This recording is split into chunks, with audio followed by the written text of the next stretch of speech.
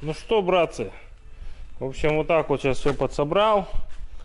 Хотел, хотел сегодня завести, но дали мне не тот фильтр. Фильтр дали. Новый фильтр начал ставить, а он, оказывается, отверстие у него больше. Ну вот как-то ждем другой, короче. Не ждем, а будем это. Завтра поеду в магазин и поменяю его на другой, если есть, конечно, в наличии. Это плохо, конечно, если не будет. Вот так все, уже хотел сегодня запустить, залить масло, все. Но ничего не вышло. В общем, ждем завтра и будем запускать. Завтра включимся. Обязательно, обязательно включимся. Уже все подцеплено. А, останется только запитать печку вот на тот фильтр. Фильтр поставим, купим завтра фильтр, чтобы почистила маленечко. Поставил э, термостат и будем завтра уже все это заводить. Вот он косяк, прогнили пробки. Я пробовал тут их подварить. Но пока что толку нету. Братцы, я не знаю вообще как быть и что делать. Но в принципе, в принципе будем выбивать, наверное, все пробки и точить новые. Вообще, вот это вот отверстие, оно вообще было просто, даже не было там вообще ничего. Здесь еще хоть более-менее какое-то, да, отверстие. А тут вообще ничего не было. Просто, ну, придется вот эту еще тоже выбить. Не знаю, большие выбивать, не выбивать. Ну, короче, я не знаю, что делать. Вообще бы то по-хорошему еще напором бы воды дать, чтобы там как-то промылось. Будем смотреть, что, не знаю, что делать. Вот так, друзья. А потом такой завоешь, ставишь, блядь, думаешь, ебаный урод, а что у меня печка нахуй? Нихуя не дует, блядь. Вот такой фильтр надо обязательно ставить. Только для горячей воды, ну, которые идут, колбы, эти лопаются, не выдерживают уже пройденный этап. Итак, братцы, сейчас расскажу, какой я лошара, короче, вообще лошара. Вот видите, куча, лужа масла, масло под машиной, лужа. Что думаете? Генератора, видите, нет. Трубочки оцеплены. И я тут решил, думаю, дай-ка я дринкну без коллектора мотор. Ну, как видите, дрынкнул. Пока там смотрел, какой там из них цилиндр прокидывал синий дым, пока там прокачалось. А потом обхожу и смотрю там на ту. О, натекло, прям жесть. Ну, литра два, наверное, точно на полу, на полу. Ну, осталось у нас немного масла. Зальем, не знаю, короче. Ну и что по итогу-то? Сейчас вам покажу, что по итогу. Промыл я, короче, все пробки. Пробки вот снял. Вот они все сняты. Оттуда я вышкрип, вымыл, мыл тут прям туда лил, лил водичкой. Промывал все с пробочки. Вон она. Не знаю, видно, не видно. Резьба такая вся заэтованная. Короче, это вообще тут мыл.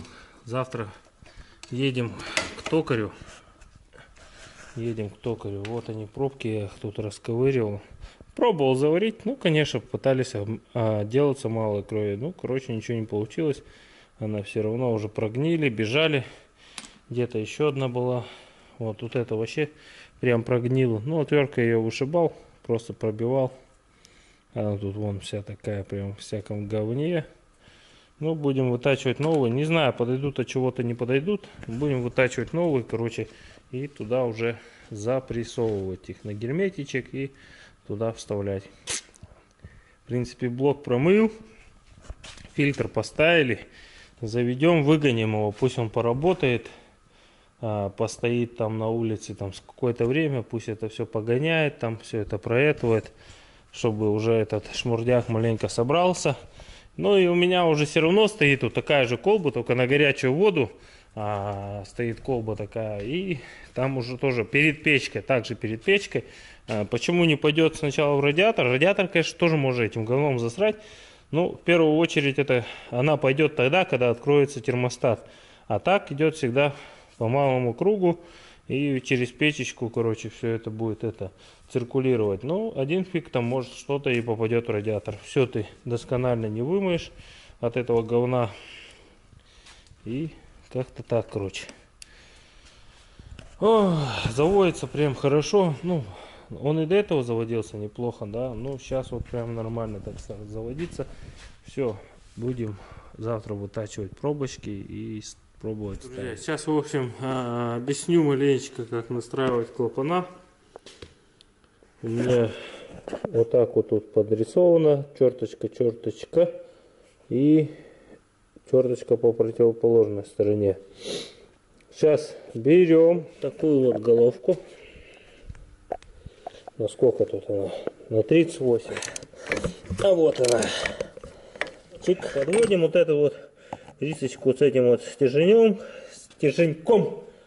И смотрим, э, какой у нас цилиндр. Да? Это, скорее всего, по клапанам это четвертый цилиндр.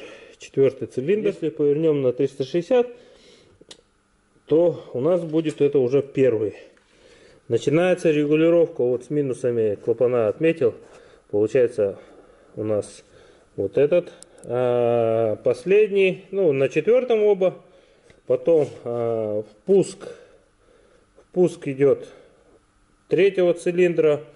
И выпуск идет второго цилиндра. Эти клапана регулируем. А, Впуск у них получается а, 0,30, выпуск 0,35. И потом, когда проворачиваем шкив уже на 360, и у нас будет первый, и будет регулироваться на первом цилиндре оба, да, там впуск-выпуск. На втором цилиндре у нас получается впуск регулируется, и выпуск на третьем цилиндре. Да, на третьем цилиндре выпуск регулируется. Вот как-то вот таким макаром регулируется клапана на G2. В общем так, друзья, хотел сначала обращаться к токарю, но поехал и нашел в русских магазинах вот такие же заглушки, точно такие же. И стоят они всего лишь 20 рублей, токарю отдал бы больше.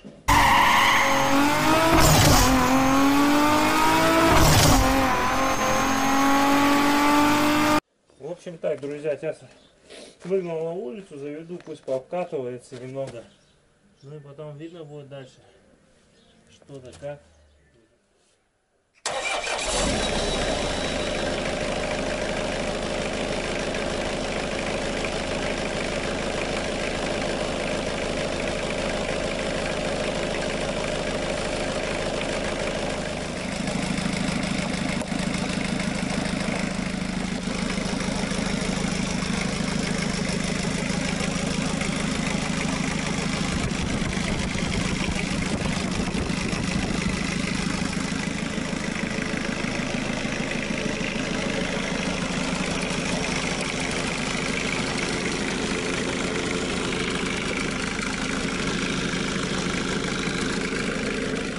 Братцы, смотрите, сейчас вот фильтр вот этот ставили, поработал он у меня 5 часов.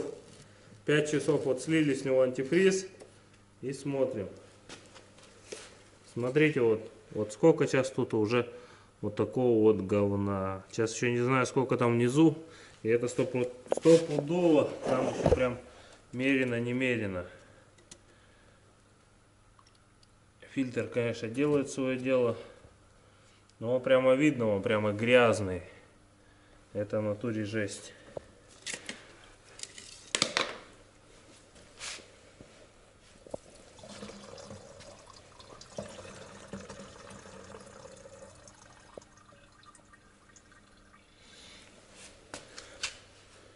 Ну, конечно, плохо видно, но сейчас попробуем перевернуть на какую-нибудь картонку это все. Опа.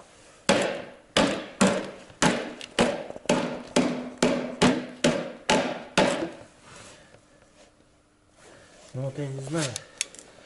Вон, смотри, говна это вон, прям песка какой-то. Песок. И вот это могло, прикинь, в радиаторе быть печки.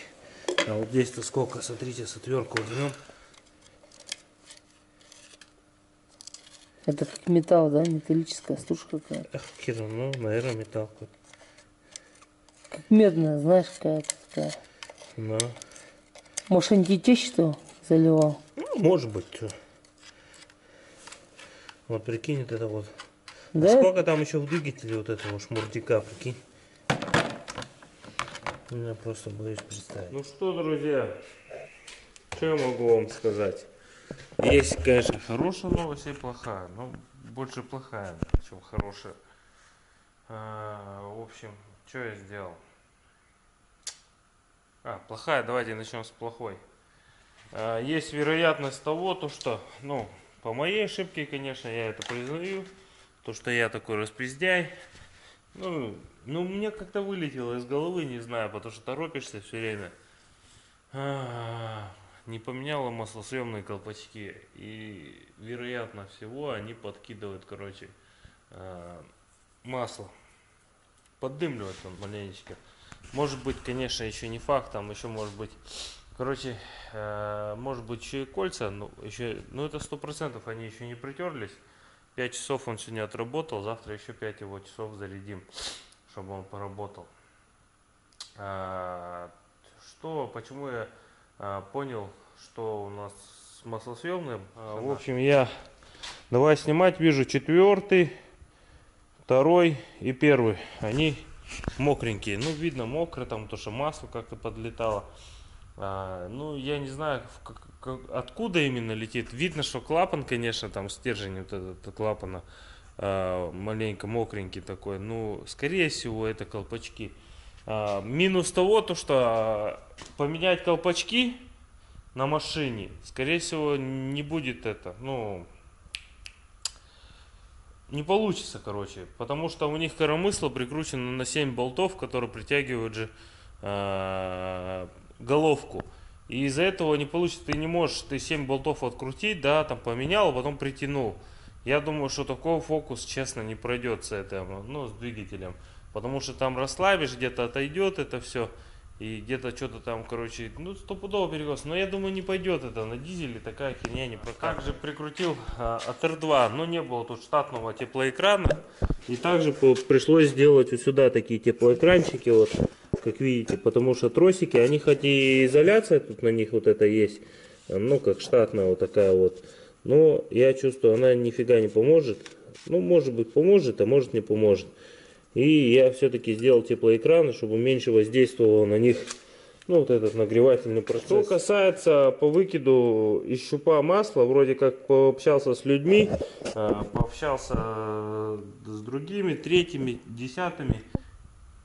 Масло у них, если вот так щуп выдергиваешь и газуешь масло, под, выкидывает отсюда. Это на них это говорит это нормально. Почему у меня выкидывают? У меня сломанный щуп, и тут нету резиночки. И из-за этого, скорее всего, у меня ну, дальше выкидывает. Заказал новый щуп, придет, когда-нибудь поставим. И, в принципе, я думаю, проблема этого от нас уйдет. И я, как истинный лошара, который забыл поменять маслосъемные колпачки, вот я их уже приобрел. Очень большое спасибо Рауфу э, с Иркутска, с Бонго клуба. Он, в принципе, мне помог. А, приобрести эти колпачки, съездил, при, купил и сегодняшним как бы рейсом на автобусе отправил до меня. Вообще, благодарность Караухте, прям вообще большая, большая. Также хочу спасибо сказать э, Славе Твери, что не остается равнодушным, как бы какие-то более, ну, как, какие-то советы он мне дает. Хотя, говорит, сам не сталкивался с этими моторами. Ну, тем не менее, он дает мне советы, и мы уже из этого и всего исходим. Как нам а, на G2 поменять маслосъемные колпачки, не снимая головы? А, объясню почему. А, трудность в замене будет, так как коромысло на 7 болтах прикручено сквозными болтами и притягивает ту, ту же самую что головку. И чтобы поменять, э, грубо говоря, снять коромысло, то ты ослабишь головку. Но это уже не есть хорошо, и из этого у нас получится, что мы можем прослабить все это где-то, ну и со временем, может сразу она, после потом, когда соберем, затянем, может она и не пернет прокладка, ну со временем я думаю, что на дизеле это как бы такие фокусы не проходят, и это потом придет все равно конец, и она пернет, эта прокладка. И в общем сейчас попробуем, если, ну я так скажу, короче, если у меня все получится, этот видос выйдет выйдет. Если не получится, то он не выйдет, то извиняйте. Будем пробовать, короче, э, поменять колпачки, не снимая головы. Итак, братцы, вот таким макаром мы сняли э, вытащили штанги и, в принципе, можно добраться. Не знаю, получится у меня потом вот этих два, как бы, э, цилиндра добраться. Я еще не знаю. Ну, я штанги, в принципе, кое-как вытащил и здесь. В общем, сейчас буду расчехлять пружины и уже дальше видно будет все. Купил вот такую штукенцию, не знаю, как она работает, для чего работает. Короче, я сам еще пока не знаю.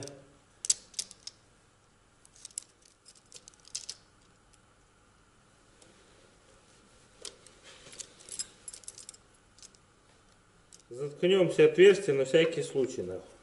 А то знает, какая-нибудь хуйня туда и упадет.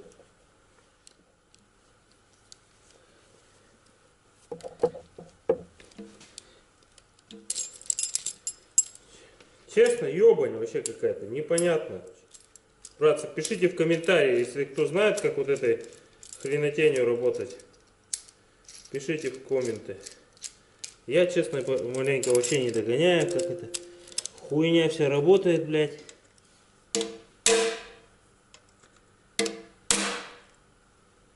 Дедовский проверенный способ, блядь.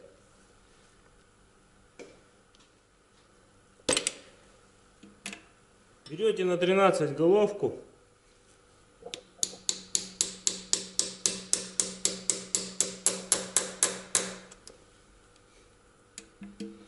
И все.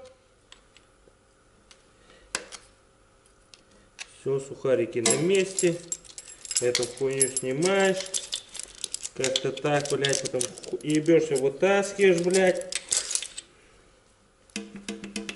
О, нормально. Надо вот обязательно прокручивать коленвал. Либо в ту, либо в другую, непонятно. Ну, чтобы клапан туда уходил, и можно было задавить его. А если его туда не задавишь, то все.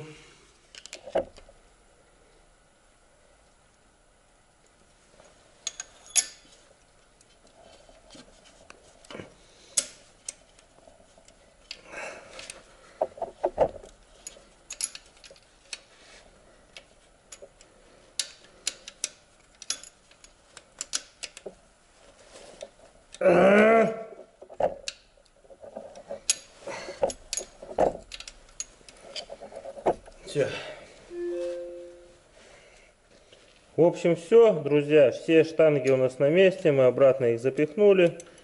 Ну и не забывайте вот про эти, я не знаю, пятаки или как их правильно назвать уже дальше, туда под клапан пихается. Там аккуратно потом где бак будет. Ох, вообще. Шноркель впритык стоит. Русским способом все это подгоняется. Вообще, вырубаем передачу. Пониженная, короче, у него сейчас зеркально получается.